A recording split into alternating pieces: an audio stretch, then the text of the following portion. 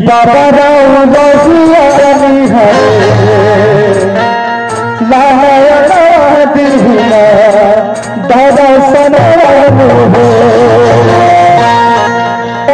माई बहन घर जा रहा है, जाइए बहुत लेट हो गया, जाइए।